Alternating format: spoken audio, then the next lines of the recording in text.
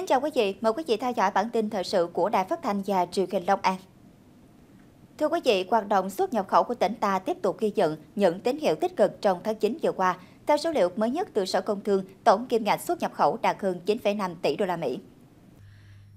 Trong đó, xuất khẩu ước đạt 5,8 tỷ đô la Mỹ, tăng hơn 12%, nhập khẩu ước hơn 3,7 tỷ đô la Mỹ, tăng gần 17%. Đây là một con số ấn tượng cho thấy sức cạnh tranh của hàng hóa tỉnh Long An trên thị trường quốc tế ngày càng được nâng cao. Chúng ta có thể kỳ vọng vào một bức tranh xuất nhập khẩu tươi sáng hơn trong những tháng cuối năm. Tuy nhiên, để duy trì và phát triển thành quả này, các doanh nghiệp cần tiếp tục nâng cao năng lực cạnh tranh, đổi mới công nghệ và các cơ quan quản lý nhà nước cần tiếp tục tạo ra môi trường kinh doanh thuận lợi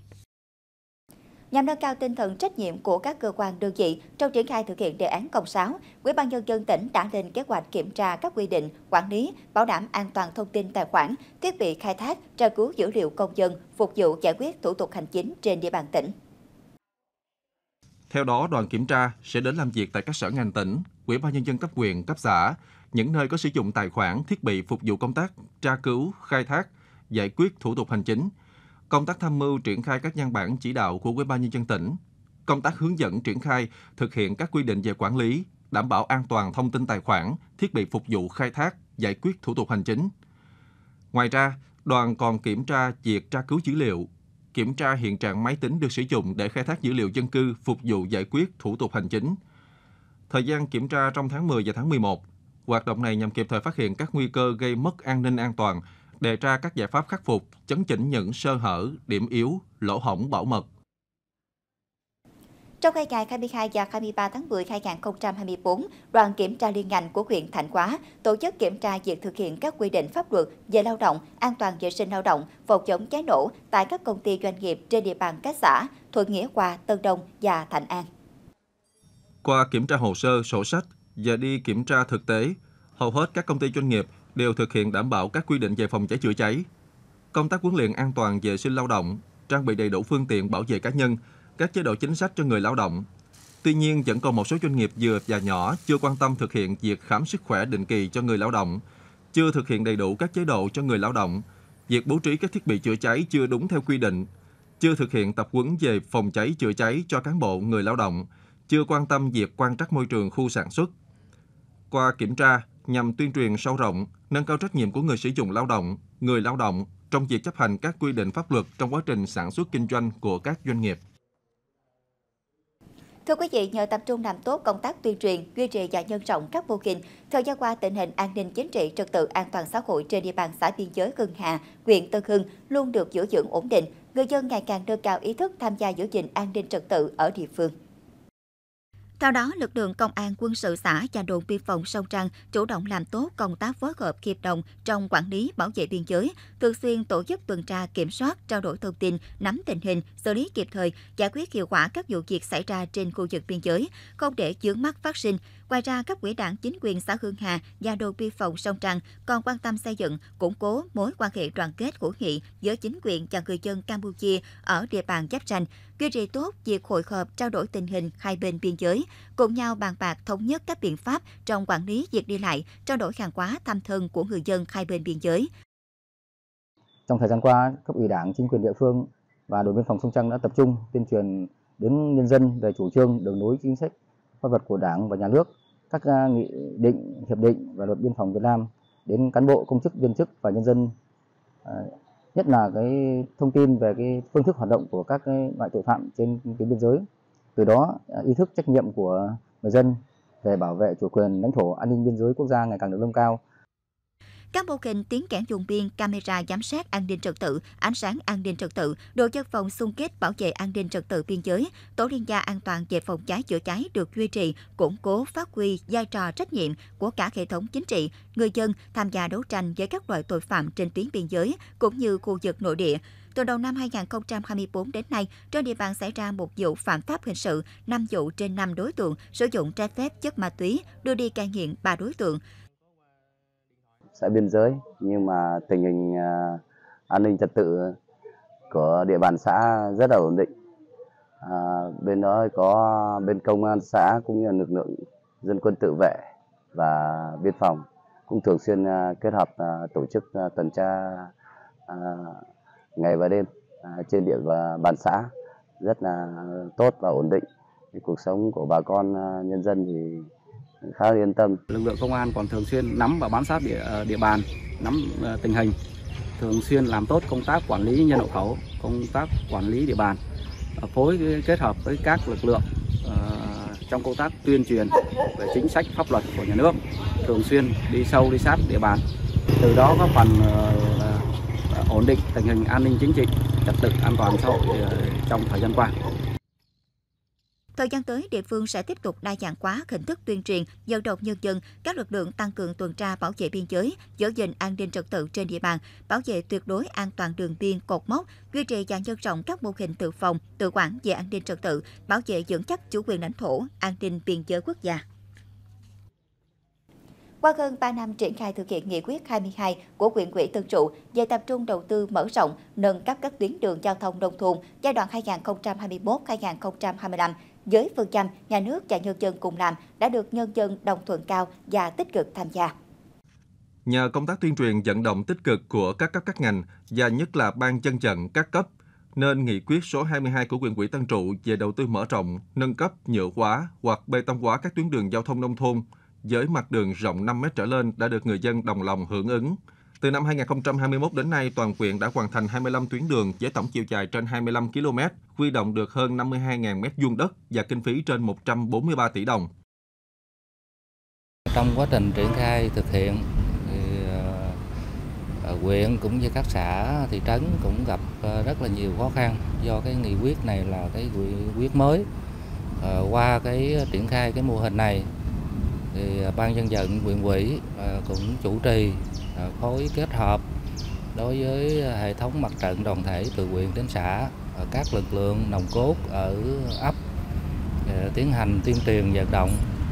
Sau đó thì cái sự đồng thuận của người dân thì được nâng lên. Thành công trong việc vận động hiến đất, mở rộng đường giao thông nông thôn thể hiện sự nỗ lực và quyết tâm cao của cán bộ đảng viên và nhân dân huyện, đồng thời khẳng định tinh thần đoàn kết chung sức đồng lòng của người dân trong thúc đẩy phát triển kinh tế xã hội, thay đổi diện mạo nông thôn huyện. Thưa quý vị, nhận thức rõ tầm quan trọng của an ninh mạng trong quá trình chuyển đổi số, tỉnh Long An đã và đang không ngừng nỗ lực xây dựng, hoàn thiện cơ sở dữ liệu ngành, nâng cao khả năng bảo vệ hệ thống thông tin, đảm bảo an toàn dữ liệu trong các cơ quan nhà nước.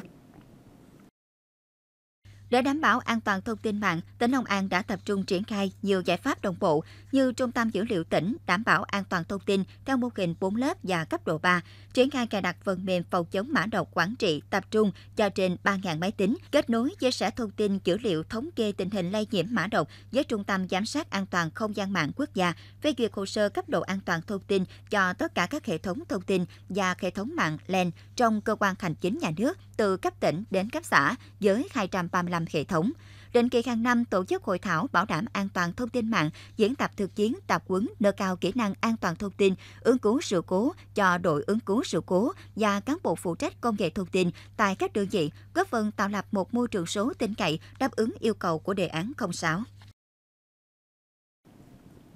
nhằm hưởng ứng Ngày Pháp luật nước Cộng hòa xã hội chủ nghĩa Việt Nam 9 tháng 11, vừa qua cụm thi đua số 2, đoàn khối cơ quan và doanh nghiệp tỉnh Long An tổ chức phiên tòa giả định tuyên truyền phổ biến giáo dục pháp luật cho đoàn viên thanh niên. Tại phiên tòa giả định, hơn 100 cán bộ đoàn, đoàn viên thanh niên được xem phiên tòa hình sự sơ thẩm, xét xử vụ án về tội mua bán trái phép chất ma túy, quy định tại Điều 251 Bộ Luật Hình sự. Phiên tòa được xây dựng dựa trên vụ án có thật, do đoàn viên các chi đoàn nhập giai thể hiện đúng chức năng nhiệm vụ trong phiên tòa xét xử. Các tình tiết xoay quanh vụ án được tái hiện đầy đủ các phần thủ tục, tranh tụng và tuyên án theo đúng quy định của luật tố tụng hình sự.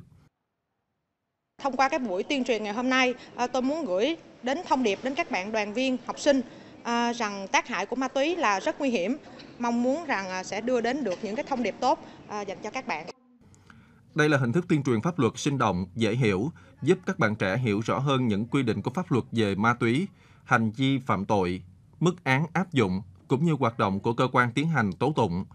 Qua đó giúp các bạn củng cố kiến thức pháp luật, nâng cao ý thức trách nhiệm đối với cộng đồng. Hội Liên hiệp Phụ nữ huyện Bến Lức tổ chức tập huấn trang bị kiến thức về luật bảo vệ môi trường cho 50 cán bộ hội viên phụ nữ nồng cốt của khai xã Thành Đức và Bình Đức.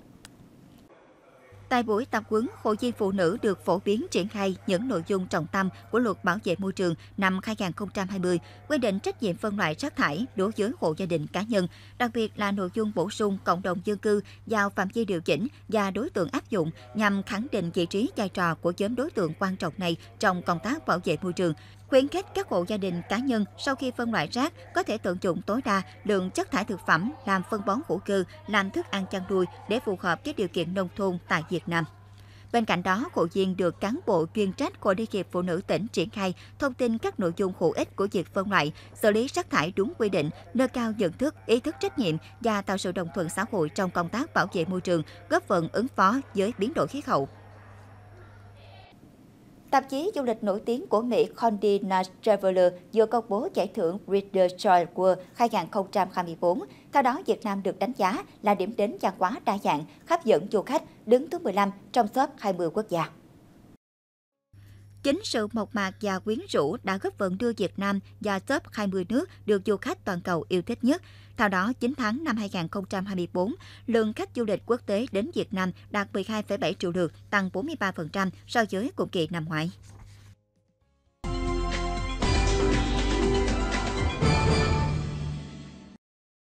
Trong khi cuộc bầu cử tổng thống Mỹ chỉ còn chưa đầy 2 tuần nữa sẽ diễn ra, mới đây một địa phương thuộc bang chiến địa Pennsylvania đã ra mắt xe phục vụ bỏ phiếu lưu động. Xe đến tận nơi nhằm tạo điều kiện để cử tri có thể dễ dàng làm các thủ tục cần thiết và hoàn tất quá trình bỏ phiếu ngay tại chỗ. Ông Neil Makira, ủy viên quận Montgomery và đồng thời là chủ tịch hội đồng bầu cử quận cho biết, Montgomery là một trong những nơi có tỷ lệ cử tri đi bỏ phiếu cao nhất năm 2020. Việc sử dụng các hình thức bỏ phiếu mới như xe phục vụ bỏ phiếu lưu động có thể giúp địa phương này có thêm nhiều cử tri đi bỏ phiếu. Quận Montgomery là quận lớn thứ ba ở bang Pennsylvania với 600.000 cử tri đủ điều kiện đi bỏ phiếu, trong số gần 900.000 cư dân. Đây cũng là một trong những địa phương quan trọng nhất trong các chiến dịch vận động tranh cử của các ứng cử viên tổng thống Mỹ. Năm nay, Pennsylvania một lần nữa tiếp tục là bang chiến trường, đóng vai trò quan trọng trong cuộc bầu cử tổng thống Mỹ, trong bối cảnh bang này đang bị chia rẽ về mặt chính trị và có một số lượng lớn phiếu đại cử tri mà các ứng cử viên đều cần giành được.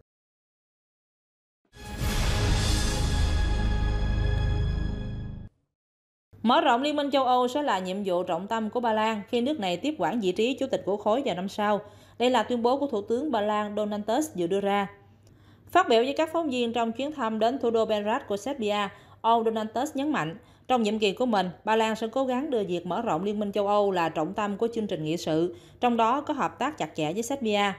Theo ông, việc mở rộng Liên minh châu Âu phải bao gồm Serbia. Mặc dù đây là tiến trình không dễ dàng, nhưng ông khẳng định Ba Lan sẽ nỗ lực hết sức để hiện thực hóa mục tiêu này.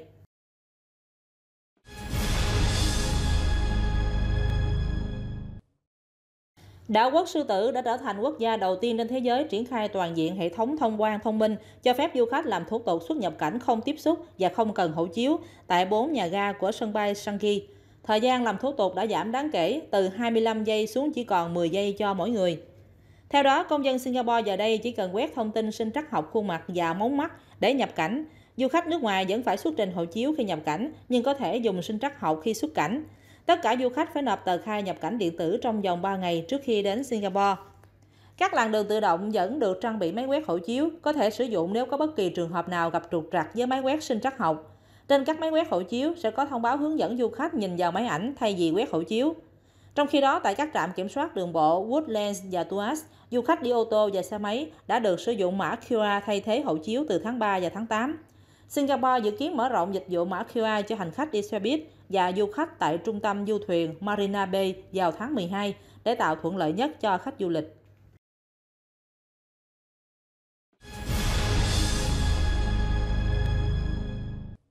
Cơ quan vũ trụ châu Âu đã công bố kế hoạch hỗ trợ khẩn cấp cho ngành công nghiệp vũ trụ hiện đang gặp khó khăn sau khi một số tập đoàn thông báo cắt giảm hàng ngàn việc làm trong lĩnh vực này. Cơ quan vũ trụ châu Âu cho biết cơ quan này sẽ đẩy mạnh việc thanh toán và tăng hạn mức tạm ứng cho các hợp đồng mới, đồng thời cũng sẽ đẩy nhanh việc giải ngân các khoản thanh toán theo tiến độ mà không cần chờ hoàn thành tất cả các mốc phát triển. Tuy nhiên, gói hỗ trợ này sẽ đi kèm với việc bị giám sát chặt chẽ hơn. Ngoài ra, để chuẩn bị hiệu quả và khả thi đối với các chương trình mới trong ngành công nghiệp vũ trụ châu Âu, Cơ quan vũ trụ châu Âu cũng thành lập cơ quan quản lý dự án độc lập để đảm bảo các chương trình mới được chuẩn bị một cách thực tế và khả thi. Ngành công nghiệp vũ trụ châu Âu đang đối mặt với cạnh tranh gay gắt từ các công ty như SpaceX của tỷ phú Elon Musk. Quyết định của cơ quan vũ trụ châu Âu được đưa ra sau khi tập đoàn Airbus thông báo cắt giảm 2.500 việc làm trong mảng sản xuất vệ tinh, sau khi thua lỗ hơn 1,5 tỷ euro trong những quý gần đây. Trong khi đó, tập đoàn Thales cũng đang đàm phán cắt giảm 1.300 việc làm trong hoạt động vũ trụ.